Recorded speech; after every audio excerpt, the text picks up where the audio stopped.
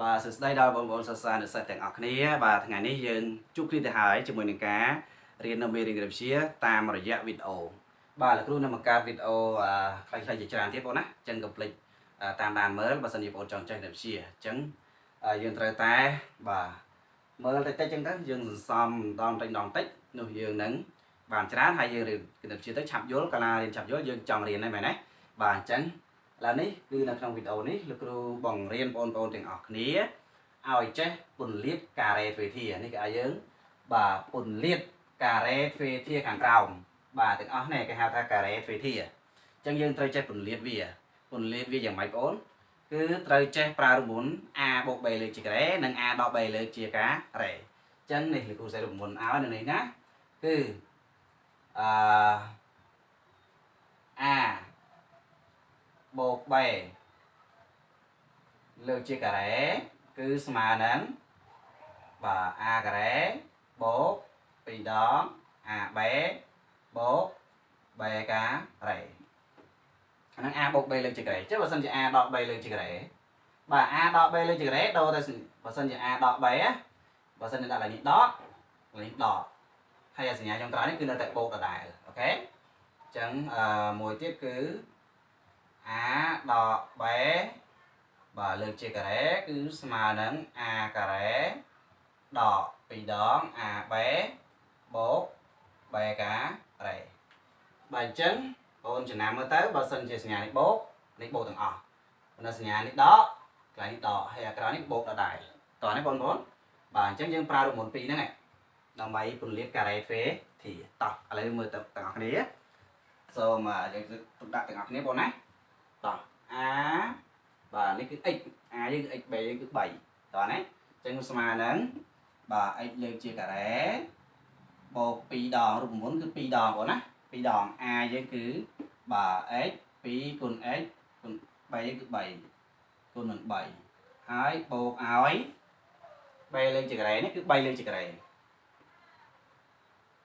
បាទតមកទៀតបានយើងសេស្មើនឹងទៀតមក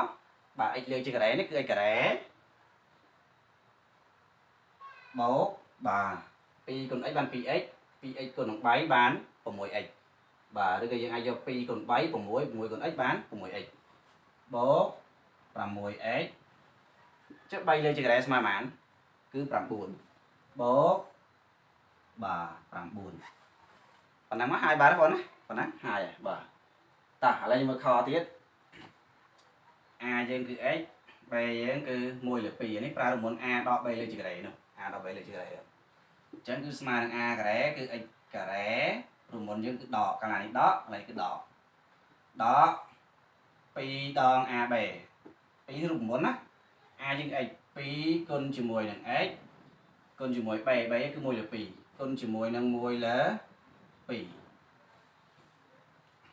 ហើយបូក b ការ៉េបូក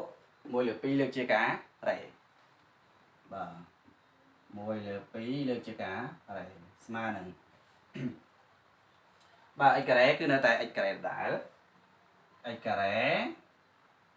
សញ្ញាដកដល់មកដកតោះឥឡូវយើងមើលនេះ2គុណ1លើ2ស្មើប៉ុន្មានមិនថា2នេះសម្រួល2នេះបាន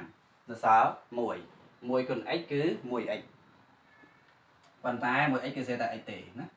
ដក x ចុះ1លើ2លេខចក្រេ1លេខចក្រេគឺ1ដែរ បាទ2លើកចក្រេគឺ4បាទប៉ុណ្ណឹងហើយអូខេតើឥឡូវយើងមើលកមួយទៀត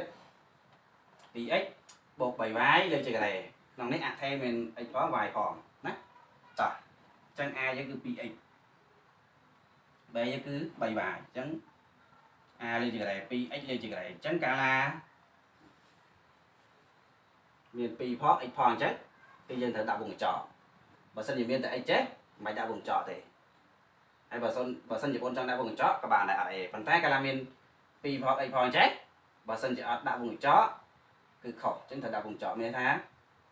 ពីរនេះក៏ត្រូវលើកជាការ៉េដែរមិនមែនលើកជាការ៉េតែអីទេតោះនេះបងបាទបូក2ដង AB បូក2គុណនឹង A គឺ 2x គុណនឹង B គឺ 3y បាទបូក2ដង AB បូក3លើកជាការ៉េបូក 3y លើកជាការ៉េ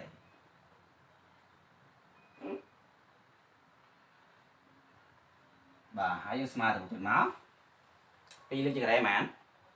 4ណាហើយ x លើកជាការ៉េបាន x ការ៉េអញ្ចឹងអានេះបាន 4x ការ៉េ 4x ការ៉េបាទបូកទុនលេខមកទុនលេខនឹងលេខមក 2 2ដង4 4បីដង12 x y ព្រោះមានអថេ2 x ផង y ផងអូខេអញ្ចឹង 12x y ណាបូក12 x y បូកនឹងប៉ុន្មានទេនេះបូកនឹងបាទ3លើកជាការ៉េ9 y លើកជាការ៉េគឺ y ការ៉េអញ្ចឹង 9y ការ៉េណា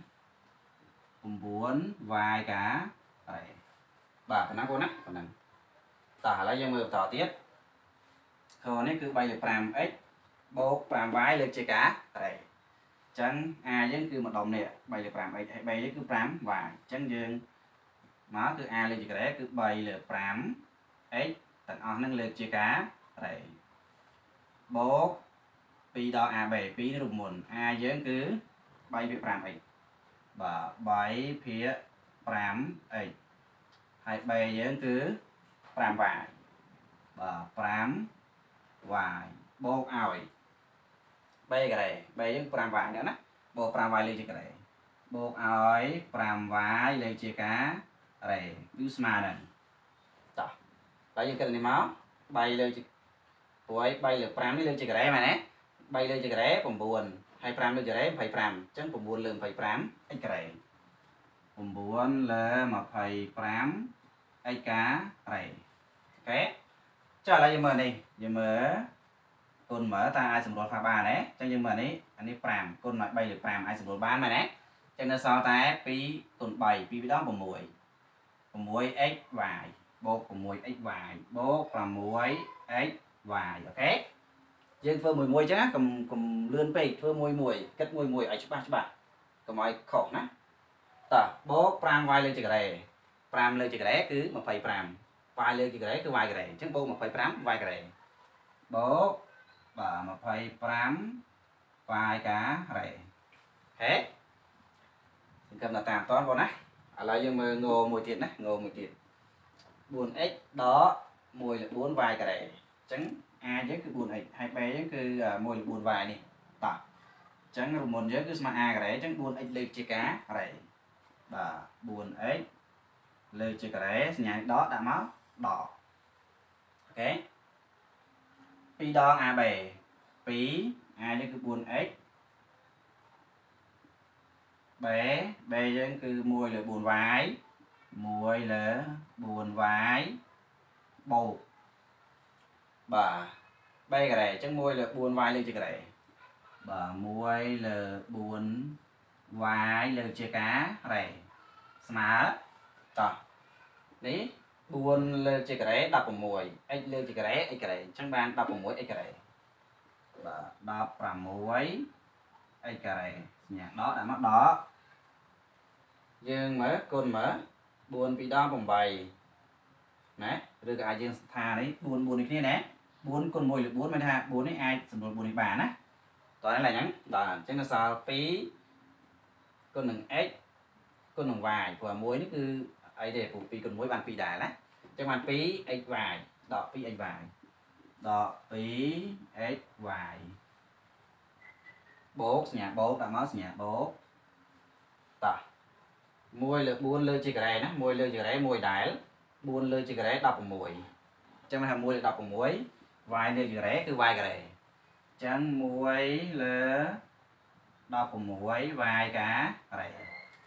បាទ នេះគឺជាលំហាត់ខ្លីៗងាយងាយស្រួលស្រួលឲ្យបងប្អូននេះយល់យល់ប្រមុនសិនណាបងណាយល់ប្រមុនសិនអូខេអញ្ចឹងសង្ឃឹមថាលំហាត់នេះហើយនឹងវីដេអូមួយនេះជួយដល់បងប្អូនដែលខ្សោយគណិតវិទ្យាហ្នឹងឲ្យ